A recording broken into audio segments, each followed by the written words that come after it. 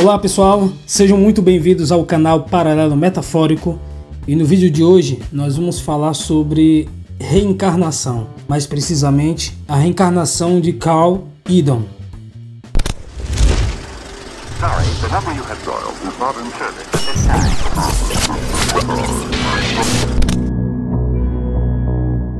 Carl Eden nasceu em 29 de dezembro de 1972, na Inglaterra. Seus pais, James Eden e Valerie Eden, eram cristãos e frequentavam a igreja anglicana. Nenhum deles acreditava na reencarnação e, de fato, esse assunto sequer chegou a ser mencionado na casa deles, já que todos pensavam na morte cristã como um renascimento no paraíso. Tudo estava normal até que, aos três anos de idade, Carl começou a contar uma história surpreendente e bastante preocupante. Ele disse que se lembrava de ser um piloto de bombardeiro alemão. Os pais do menino sabiam que eles não tinham em casa nenhum livro sobre o assunto ou alguma referência sobre a Segunda Guerra Mundial, e também pela pouca idade, Carl não tinha como ter lido ou visto essas histórias em algum lugar. Foi o pai dele, James, o primeiro a dar ouvido seriamente ao que o menino contava empolgado. James logo começou uma investigação sobre as histórias que o filho contava. Eu me espatifei através da janela do avião. Estas foram as primeiras palavras de Eden quando ele começou a insistir que ele não era uma criança, mas sim um piloto alemão. Ele repetiu essa frase estranha muitas vezes ao longo dos anos e sempre foi rapidamente seguido por uma saudação nazista. Indagado, o menino insistia que tinha sido abatido e morto em 1942. Carl passou a dizer que estava em um avião bombardeio sobre a Inglaterra quando ele caiu. Ele então começou a traçar emblemas, suásticas, insígnias da aviação de guerra alemã. Isso aconteceu quando ele tinha dois ou três anos de idade ele sempre tentava desenhar uma ave preta num escudo, e logo ficou claro o que ele queria desenhar: o brasão da águia alemã. Até a idade de seis anos, a coisa tinha piorado bastante. Ele sabia detalhes que pareciam limitados a historiadores e fez até um plano detalhado de um cockpit de um avião, descrevendo para o que cada um daqueles reloginhos servia. Ele também falou de um pedal vermelho que servia para lançar as bombas, em seguida, ele surpreendeu seus pais, explicando que o avião era um Messerschmitt alemão. O menino acreditava que o número do seu avião era 101 ou 104. Nesta época, os pais do menino estavam absolutamente chocados e envolvidos na tentativa de levantar os detalhes daquelas memórias estranhas. Certa noite, quando eles estavam assistindo um programa sobre o Holocausto na TV, Cal disse que ele acreditava que sua base aérea estava próxima de um campo de concentração. Ele só não tinha certeza de qual. Eu perdi uma perna no acidente. Cal deu informações detalhadas sobre como ele, na vida passada, tinha perdido a perna direita no acidente. E em uma estranha reviravolta, Cal tinha uma grande marca de nascença na sua virilha, na parte superior de sua perna direita. É bom lembrar que existem estudos tentando ligar estranhas marcas de nascença com casos de crianças que se lembram de reencarnações.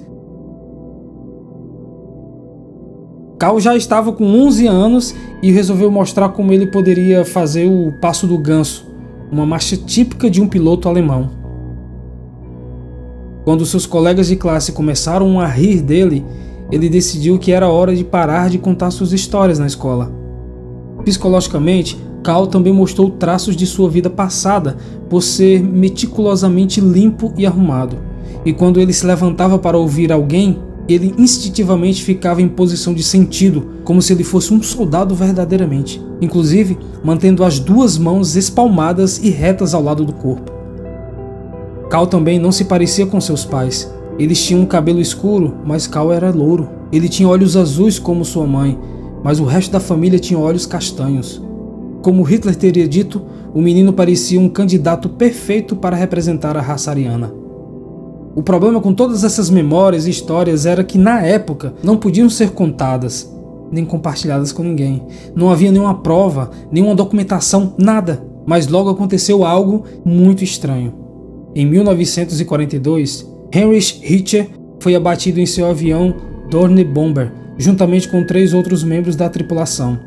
Os detalhes do acidente incluíam o fato de que o avião tinha sido danificado pelo fogo antiaéreo antes de cair. Três dos pilotos foram recuperados e enterrados logo após o acidente. Aqui é onde a história fica um pouco mais estranha. Dentro dos destroços, os três corpos não incluíam Heinrich Richter.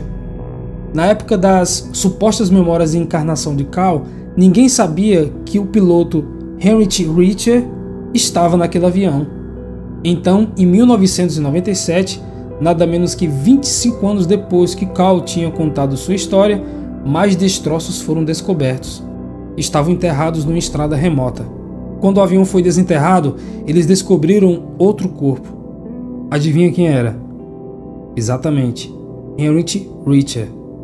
Além do mais, quando eles removeram os restos do corpo, eles descobriram que o piloto tinha mesmo perdido a perna direita no acidente, exatamente como Carl havia dito, que sua perna havia sido cortada na hora de sua morte, e bem no lugar onde o menino nasceu com uma marca. Tudo isso é absolutamente bizarro, mas ainda não é tudo. Novas fotografias do piloto Richard fez com que um pesquisador local assumisse uma pesquisa e obstinadamente mergulhou em uma enorme quantidade de informações. Quando as fotos do menino e do piloto foram comparadas, há uma estranha semelhança entre os dois. A mãe do menino, ao ver a foto, se sentiu atordoada. Tem que ser ele, ela sussurrou. Bizarro, não? Mas espere, pois essa história não termina aqui. Dois anos antes da descoberta do avião bombardeio abatido e a recuperação do corpo do piloto Richard, Carl Eden foi assassinado. Era 1995. Gary Winter estava trabalhando ao lado de Carl Eden num depósito de trens. Gary Winter era um cara desequilibrado que tinha um histórico de violência extrema. Do nada, o cara deu uma louca e em poucos segundos de completo horror, Carl foi esfaqueado 37 vezes. Gary estava fora de si e perfurou cada um dos órgãos de Carl Eden. Carl deixou para trás sua namorada Michelle, sua filha de quase dois anos de idade Sophie e seus pais. Dois meses depois de sua morte, Michelle deu à luz a sua segunda filha, Carla. No dia em que Gary Winter realizou seu ataque assassino, Carl Eden tinha viajado para Skinny Groove para coletar vagões de trem. Ele tinha 22 anos. Mais de 40 anos antes, no dia que o piloto Richard morreu, seu avião havia sido bombardeado justamente em Skinny Groove e voava seguindo a linha ferroviária e ele tinha 24 anos.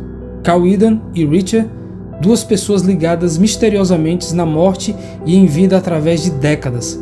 Ambos morreram seguindo a mesma ferrovia. Douglas Winter, mais conhecido como Gary Winter, foi condenado à prisão perpétua após o brutal assassinato de Carl. Ele só ficou preso 10 anos antes de ser solto, beneficiado por uma redução de pena.